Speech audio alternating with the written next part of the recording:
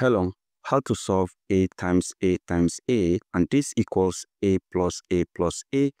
We are solving for all values of a that satisfies this equation. Now, if you have a times a times a, this is a to the power of 3 and this equals a plus a plus a will give you 3a. Now, the next thing we are going to do is to move this 3a over here. So we are going to have a to the power of 3 minus 3a and this equals 0. Remember, this is positive. When it crosses this equality sign, it becomes negative. So we have negative 3a. So the next step will be for us to factor out a because this is a power 3 and this is 3a. So there's a here and there's a here. So we factor out a. We divide a power 3 by a. We are going to have a to the power of 2 minus we divide 3a by a. We are going to have 3. And this equals 0. So the next thing we are going to do is we are going to equate each of these to 0. So the first will be we have a equals 0 or a squared minus 3 equals 0. Now this is solved already. We have a equals 0. So this becomes one of the solutions for a. So you can have a1 equals 0. Now we need to solve this to find the other values of a. How are we going to do it? Now, let's copy it down here. We have a squared minus 3 and this equals 0. Now what we are going to do is we can apply difference of two squares but before we do that we remember this if you have root of x raised to the power of 2 this equals x why because this square root here will eliminate this square here so what actually happens here is the root of x is the same thing as x power 1 over 2. So this square root here is the same thing as this exponent of 1 over 2. So you have x power 1 over 2. So if you raise it to the power of 2, what happens here is 1 over 2 will multiply 2. If you have 2 over 2, what that is 1. That is why we are having x here.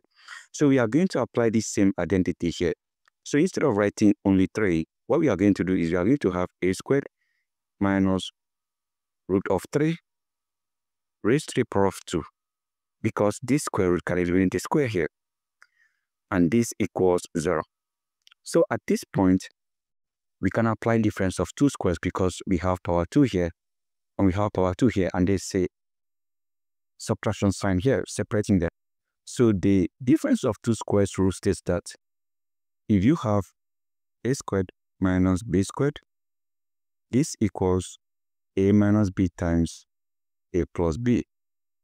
So in this particular equation, our a equals the a that we have here, and b equals the root 3 that we have here. So let's insert it right into this identity. That means we are going to have for a minus b, we have a is a, so we have a minus b is root 3 times for a plus b, we have a plus b is root 3 and this equals 0. So we have gotten something here. The next thing we are going to do is to equate each of these to 0. So we have a minus root 3 equals 0 or a plus root 3 equals 0. So for this one here, what we are going to do is we take this over here it becomes positive. So we are going to have the first solution for a.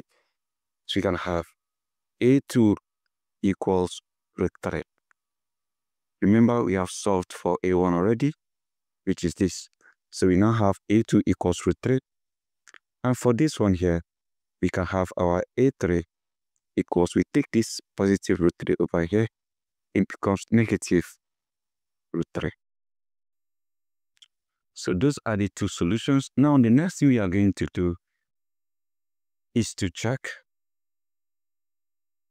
We are going to check for all the values of a that we have solved. Remember, we have a1 equals 0. We have a2 equals root 3. And we have a3 equals negative root 3. So let's test for each of these values of a.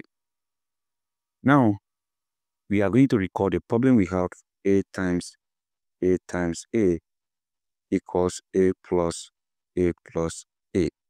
So when a equals 0, so we have when a equals 0, what we are going to have is 0 times 0 times 0 equals 0 plus 0 plus 0. So 0 times 0 times 0 is 0 and this equals 0 plus 0 plus 0 is 0. This has proven to be correct. Now let's consider when a equals root 3. When a equals root 3, so we recall the problem we have a times a times a equals a plus a plus a. So we are going to substitute root 3. So we are going to have root 3 times root 3 times root 3 equals root 3 plus root 3 plus root 3. So from here we have root 3 times root 3, that is root 9. Now we have root 9 times root 3. That is, we have, this is root 9 times root 3. And this equals root 3 plus root 3, that is 2 root 3. We have 2 root 3 plus root 3. Because the coefficient of root 3 here is 1, the coefficient of root 3 is 1. So 1 plus 1, so we have 2, that's why we have in 2 root 3. Now, root 9 is 3, so we have 3 times root 3 equals 2 root 3 plus root 3. Remember the coefficient here is 1, so we have 3 root 3. So 3 times root 3, this is 3 root 3, and this equals 3 root 3. So that has satisfied the equation as well.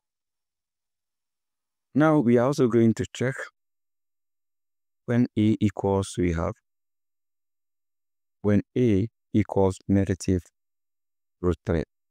So let's do that. We have a times a times a equals a plus a plus a. So we are going to substitute negative root 3 for a. So we have negative root 3 times negative root 3 times negative root 3. And this equals negative root 3 plus negative root 3. Then we have plus negative root 3. So what we are going to do is we can multiply this sign negative times negative that is positive. Root 3 times root 3 that is root 9.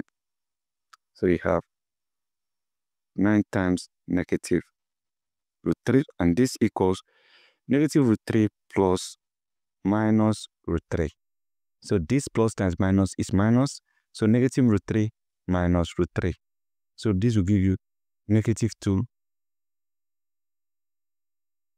We have minus 2 root 3 because the equation of here is minus 1, the equation of here is minus 1. So minus 1 plus minus 1, we have minus 2 and this root 3. So you have plus minus root 3. So from here, we have square root of 9. This is 3 times negative root 3. And this equals minus 2. This is the equation of this root 3. And there is plus or minus. There's another equation of root 3, which is minus 1. Minus 2 minus 1, that is minus 3 root 3. So we have 3 times minus root 3 will give you minus 3 root 3. And this equals minus 3 root 3. So what we have here is exactly what we have here. So at this point, all the solutions are proven to be correct. And that is it. That is the end of this particular video. So thank you.